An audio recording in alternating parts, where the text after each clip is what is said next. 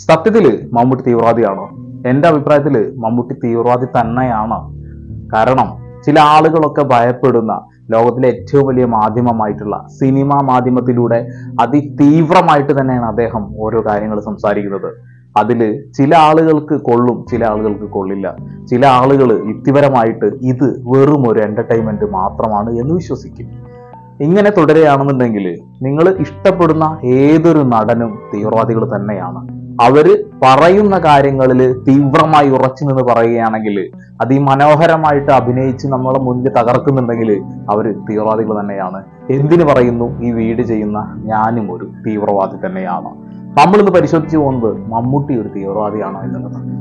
രണ്ടു ദിവസം മുമ്പ് നടന്ന ഒരു കാര്യമാണ് അതിന്റെ കൃത്യമായിട്ടുള്ള ഒരു ധാരണ പല ആളുകൾക്കും ഇല്ല എന്നുള്ളതാണ്. കാരണം ചില രാഷ്ട്രീയ പ്രസ്ഥാനത്തിലുള്ള ആളുകൾ മാത്രമാണ് ഈ ഒരു കാര്യത്തിനെ ഇങ്ങനെ ഉയർത്തി ഉയർത്തി പറഞ്ഞുകൊണ്ടിരിക്കുന്നത്. അതാരാണ്? സംഘപരിവാറാണ്. എന്തിനാണ്?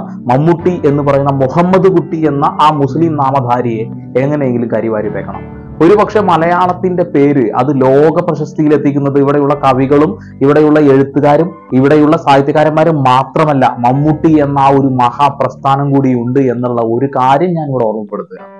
മലയാള സിനിമയെ ഇന്ത്യയുടെ നെറുകിലെത്തിച്ച ഒരു നടൻ എന്ന രീതിയിൽ മോഹൻലാലിനേക്കാളും മുന്നിൽ മമ്മൂട്ടിയുണ്ട്. മലയാള ഭാഷ അത് ഏറ്റവും ഉയരത്തിലെത്തിക്കാൻ പ്രേം നസീർ കഴിഞ്ഞാൽ എന്റെ ഒരു അഭിപ്രായത്തിൽ അത് മമ്മൂക്ക തന്നെയാണ്. കഴിഞ്ഞ ദിവസം വന്ന ഒരു പോസ്റ്റാണ് അതുമായി ബന്ധപ്പെട്ടാണ് ഇവിടെ വൈറലായിട്ട് കാര്യങ്ങൾ മുന്നോട്ട് പോയത്. ഒന്നാമത്തെ പോസ്റ്റ് രണ്ട് പോസ്റ്റുകളുണ്ട് പുഴുവും അതിന് കൂട്ടുനിന്ന സുഡാപ്പിക്കയും എല്ലാത്തിനും പിന്നിൽ മമ്മൂട്ടിയോ. സവർണരെ അധിക്ഷേപിക്കുന്ന സിനിമ ചെയ്യാൻ മമ്മൂട്ടി ആവശ്യപ്പെട്ടതായി പുഴു സംവിധായകയുടെ ഭർത്താവ് സംവിധായകയുടെ ഭർത്താവാണ് ഈ ഒരു കാര്യം പറയുന്നത്. മമ്മൂട്ടി മനഃപൂർവം പുഴു എന്ന സിനിമയിലെ ആ ഒരു ക്യാരക്ടർ അവർ പറഞ്ഞുകൊണ്ടുണ്ടാക്കിയതാണെന്ന് പറയുന്നത്. എന്താണ് പുഴു എന്ന സിനിമയിലെ ആ ഒരു ഹിന്ദുത്വ തീവ്ര ഹിന്ദുത്വവാദിയായിട്ടുള്ള മനുഷ്യന്റെ കഥ?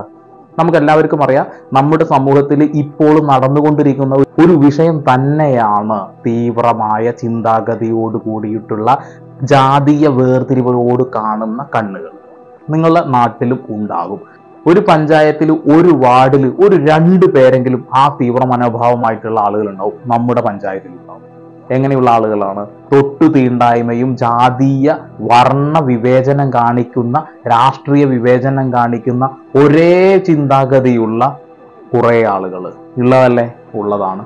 പിന്നെ എന്താണ് പുഴു എന്ന സിനിമയ്ക്ക് ഇത്ര അധികം കേൾക്കേണ്ടതായിട്ടുള്ളത്? ഹിന്ദുക്കളെ അടിച്ച് ആക്ഷേപിക്കുന്ന തരത്തിൽ എന്താണ് പുഴു എന്ന സിനിമയിൽ കാണിച്ചിട്ടുള്ളത്?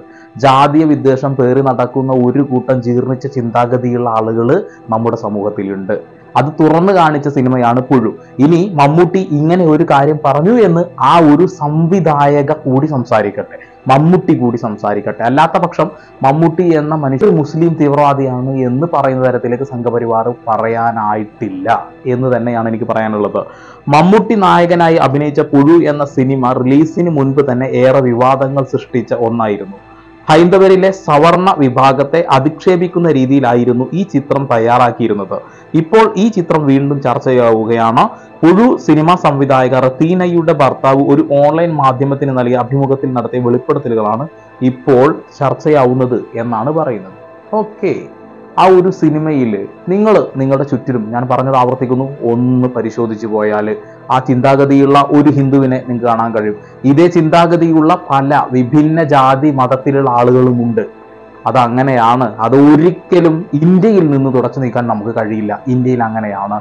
ഒരു കൂട്ടം ആളുകൾ ഇപ്പോഴും ഞങ്ങളുടെ മതമാണ് വലുത് ഞങ്ങളുടെ ജാതിയാണ് വലുത് എന്ന് ചിന്തിച്ചുകൊണ്ട് മുന്നോട്ട് പോകുന്ന ആളുകളുണ്ട്. മനുഷ്യത്വത്തെക്കാൾ അവർ ആഗ്രഹിക്കുന്നത്. നിങ്ങൾക്ക് ഇന്ത്യയാണോ? നിങ്ങൾ ജനിച്ച രാജ്യമാണോ? നിങ്ങളുടെ മതമാണോ വലുതെന്ന് ചോദിച്ചപ്പോൾ എന്റെ മതമാണ് വലുത് എന്ന് പറഞ്ഞ ഒരു പെൺകുട്ടി നിങ്ങൾ കണ്ടിട്ടുണ്ടാവും അല്ലെ? അങ്ങനെ ചിന്തിക്കുന്ന ആളുകൾ ഉള്ളിടത്തോളം കാലം ഇതൊരിക്കലും അവസാനിക്കുന്നില്ല എന്നുള്ളതാണ്. രണ്ടാമത്തെ കമന്റ് ആണ്.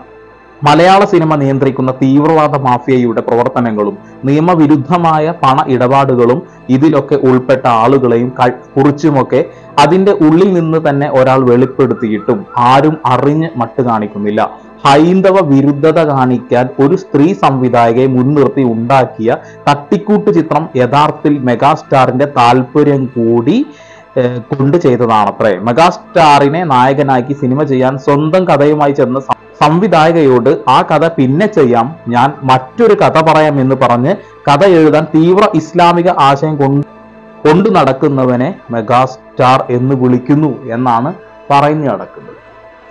ഹിന്ദു തീവ്രവാദത അതായത് മമ്മൂട്ടി മുസ്ലിം തീവ്രവാദിയാണ് എന്നാണ് ഈ എഴുത്തുകാരൻ പറയുന്നത്. പുഴു എന്ന തട്ടിക്കൂട്ട് സിനിമ എന്ന് പറയുന്നത്? പുഴു എന്ന സിനിമ എങ്ങനെയാണ് തട്ടിക്കൂട്ട് സിനിമയാവുന്നത്? ദി കേരള സ്റ്റോറി എന്ന ഒരു സിനിമ വന്നപ്പോൾ ഇവിടെയുള്ള സംഘപരിവാറാണ് ആ ഒരു സിനിമ ഇവിടെ ഓടിക്കണം. അത് ഇവിടെ ശരിക്കും നടക്കുന്നതാണ്.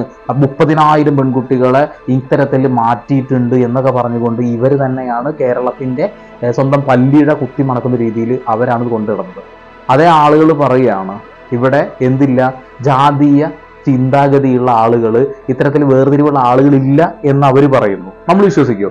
ഇത് കേരള സ്റ്റോറി എന്ന സിനിമ അത് ഇവിടെ നിരന്തരം എന്നും നടന്നുകൊണ്ടിരിക്കുന്ന ഒരു വിഷയമാണ് എന്ന് ഇവിടെയുള്ള ബഹു- ബഹുഭൂരിപക്ഷം ആളുകൾ വിശ്വസിക്കുന്നില്ലല്ലോ. അപ്പൊ ഈ ഒരു കാര്യം എന്തുകൊണ്ട് നിങ്ങൾ വിശ്വസിക്കണം? കാരണം ഇത് കുറച്ചേ ഉള്ളൂ. അതുകൊണ്ടാണ് കുറച്ചേ ഉള്ളൂ. അത് നിങ്ങൾ വിശ്വസിക്കണം. ഇത് കേരള സ്റ്റോറി കുറച്ചേ ഉണ്ടായിരുന്നുള്ളൂ. നിങ്ങളത് കേരളം മുഴുവൻ ഉണ്ടെന്ന് പറഞ്ഞു. ഇവിടെ കുറച്ചുള്ള ഒരു കാര്യമാണ്. ജാതീയ മത രാഷ്ട്രീയ വർഗ വർണ വിവേചനമുള്ള സംഘപരിവാറുണ്ട് ഇവിടെ. സംഘപരിവാർ തന്നെയാണ് ഇതിന്റെ പിന്നിൽ എന്നുള്ള കാര്യത്തിലൊരു തർക്കം വേണ്ട. അദ്ദേഹത്തിന്റെ ഒരു പോസ്റ്റിനടിയിൽ വന്നിട്ടുള്ള ഒരു കമന്റാണ് മദ്രസ സ്റ്റാർ മുഹമ്മദ് കുട്ടി അത് മതി കൂടുതൽ ഡെക്കറേഷൻ ഒന്നും വേണ്ട. ഇതാണ് അവരൊറ്റ കാര്യം കൊണ്ട് ഈ ഒരൊറ്റ ചെറിയ വിഷയം കൊണ്ട് ആരോ പറഞ്ഞുണ്ടാക്കിയ ഒരൊറ്റ കാര്യം കൊണ്ട് ഒരാളെ ഒറ്റയടിക്ക് തീവ്രവാദിയാക്കാൻ ഇവിടെയുള്ള ഒരു കൂട്ടം ആളുകൾക്ക് മാത്രമേ കഴിയൂ എന്ന് ഞാൻ ഊട്ടി ഉറപ്പിച്ച് കഴിഞ്ഞു. അത് നിങ്ങളും ഉറപ്പിക്കേണ്ടതായിട്ടുണ്ട്. പന്നി പടം കാണില്ല. ഞാൻ ആളുടെ ആരുടെയും പ്രൊഫൈൽ പിക്ചർ ഇവിടെ മറക്കാൻ തയ്യാറാവുന്നില്ല.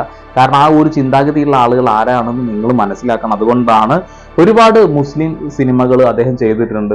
അത് വളരെ നന്നായിട്ടും ചെയ്തിട്ടുണ്ട് വളരെ മോശമായിട്ടും ചെയ്തിട്ടുണ്ട്. അതിനെക്കുറിച്ചൊന്നും ചർച്ച ചെയ്യാൻ ആർക്കും ഇല്ല ഒരു നടൻ അദ്ദേഹത്തിന് കിട്ടുന്ന ഒരു കഥാപാത്രത്തിനെ മനോഹരമാക്കാൻ കഴിയുന്നത് പോലെ ചെയ്യുന്നു എങ്കിൽ അതിനെ നമ്മൾ അപ്രിഷ്യേറ്റ് ചെയ്യണം.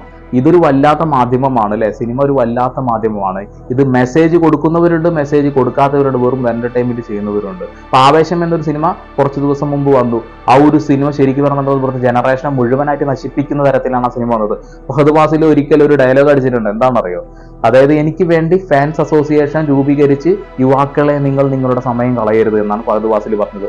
എന്നിട്ട് അദ്ദേഹം ചെയ്ത സിനിമകളിൽ എന്താണ് യുവാക്കൾക്ക് നല്ലതായിട്ട് എന്തെങ്കിലും കൊടുക്കുന്നത്? അദ്ദേഹം പറയുന്നത് സമയം കളയരുത് നിങ്ങൾ നിങ്ങൾ പഠിക്കുക എന്നാണ് പറയുന്നത്. ആവേശം എന്ന സിനിമയിൽ ഒരു കൂട്ടം യുവാക്കൾ പഠിക്കാൻ വന്ന ഒരു സ്ഥലത്ത് അവിടെ നിന്നും ക്യാൻവാസ് ചെയ്യപ്പെടുന്നു അല്ലെങ്കിൽ അവർ അതിലേക്ക് തിരഞ്ഞെടുക്കപ്പെടുന്നു മദ്യത്തിന്റെയും ലഹരിയുടെയും എന്തിനു പറയുന്നു പെണ്ണിനെ പോലും കൂട്ടിക്കൊടുക്കാൻ ശ്രമിക്കുന്ന ഫഹദ് ഫാസിൽ ഒരു ക്യാരക്ടർ വന്നു. എന്തുകൊണ്ട് ആ രാഷ്ട്രീയം ഇവിടെ സംസാരിക്കുന്നില്ല? സംസാരിക്കുന്നില്ല. എന്താ?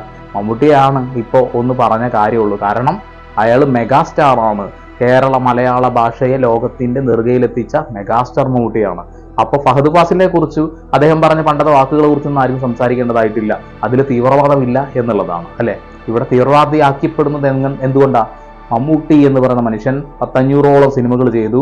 അതിൽ ഇന്നിന്ന സിനിമകൾ ഇങ്ങനെ ഇങ്ങനെ കാര്യങ്ങളിലൂടെ ചെയ്തു പോയെന്ന് എനിക്ക് തോന്നുന്നു ഒരു പക്ഷേ വടക്കൻ വീരകഥയൊക്കെ നിങ്ങൾ ഏത് രീതിയിൽ മാറ്റി മറക്കുമെന്ന് എനിക്കറിയില്ല. കാരണം ഇനി ഒരു മുസ്ലിം ഒരു ഹിന്ദു കഥാപാത്രം ചെയ്യണ്ട എന്ന തരത്തിലേക്ക് നിങ്ങൾ മാറുന്നു. എന്തിനു പറയുന്നു പല നടന്മാരും ഇപ്പോൾ ബി ജെ പിയുടെ മെയിൻ ആളാണ് സുരേഷ് ഗോപി. സുരേഷ് ഗോപിയെ കുറിച്ചിട്ട് എന്തെങ്കിലും നിങ്ങൾ പറഞ്ഞോ? സുരേഷ് ഗോപി പറഞ്ഞ ജൻ അടുത്ത ജന്മത്തിൽ എനിക്ക് എന്ത് ആവണം? ബ്രാഹ്മണനായി ജനിക്കണം അവരെ കാൽ കഴുകി വെള്ളം കുടിക്കണം. അങ്ങനെ പലതരത്തിലുള്ള കാര്യങ്ങൾ പറയുമ്പോൾ അവിടെ ഒരു വേർതിരിവ് കാണിക്കുന്നില്ല? ജാതീയതമായിട്ട്. അപ്പൊ സംഘപരിവാറിന് ഇവിടെ ജാതീയപരമായിട്ടുള്ള ഒരു വേർതിരിവ് കാണിക്കണം. അത് ഓൾറെഡി ഉണ്ട്. അപ്പൊ അതൊരു മുസ്ലിമിന്റെ സിനിമയിലാണ് ഒരു മുസ്ലിം നാമധാരിയുടെ സിനിമയിലാണ് ഇതിനെ കാണിച്ചെങ്കിൽ ആ മുസ്ലിം നാമധാരിയെ എങ്ങനെയെങ്കിലും തീവ്രവാദിയാക്കണം. ഇത് തന്നെയാണ് കേരളത്തിൽ ഇപ്പോൾ കാലങ്ങളായി നടന്നുകൊണ്ടിരിക്കുന്നത്. ഒക്കെ വലിച്ചു നീട്ടുന്നില്ല. മമ്മൂട്ടി ഒരു തീവ്രവാദി തന്നെയാണ്. അദ്ദേഹം ചെയ്യുന്ന കഥാപാത്രങ്ങളിൽ തീവ്രമായി പരിശീലിച്ചുകൊണ്ട് അത് തീവ്ര മനോഭാവത്തോട് കൂടിയിട്ട് നമ്മളിലേക്ക് എത്തിക്കുന്നത് നമ്മുടെ ഹൃദയത്തിന്റെ ഉള്ളിലേക്ക് തറച്ചു കയറുന്നുണ്ടെങ്കിൽ അദ്ദേഹം ഒരു തീവ്രവാദി തന്നെയാണ്. ആ മാധ്യമത്തെയാണ് നിങ്ങൾ ഭയക്കുന്നത് എങ്കിൽ നിങ്ങൾ ഭയന്ന് ഭയന്ന് നിക്കറിൽ മൂത്രമൊഴിക്കേണ്ട സമയം അതിക്രമിച്ചിരിക്കുന്നു.